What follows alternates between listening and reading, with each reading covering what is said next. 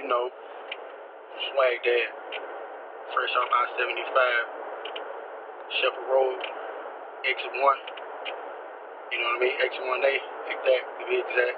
But where I'm from, man, you know, it's a lot of pain there, man. You know what I'm saying? But we all stand strong. You know what I'm saying? It's been trials and tribulations on everybody's end.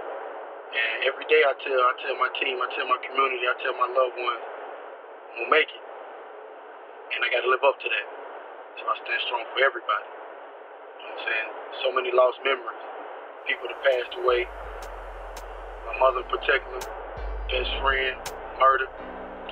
Another best friend died when I was nine. You know what I'm saying? All all in one all in one community.